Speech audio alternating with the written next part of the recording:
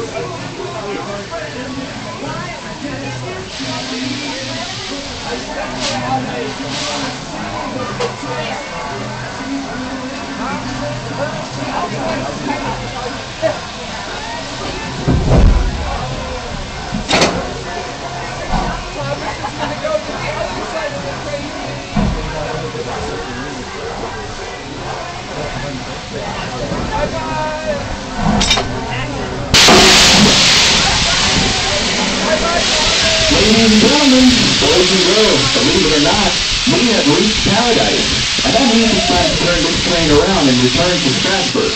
In order to do that, Thomas will need to switch to the opposite end of the train. So keep your eye out that window. Pretty soon, you're about to see him pass by.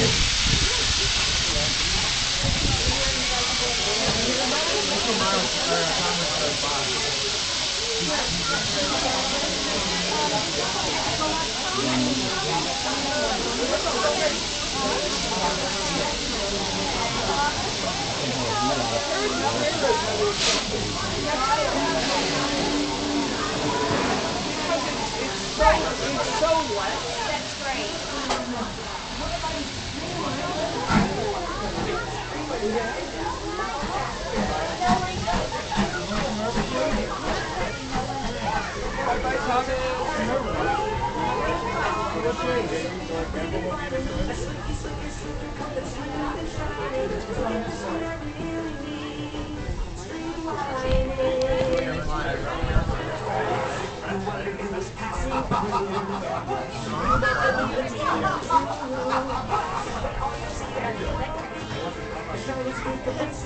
is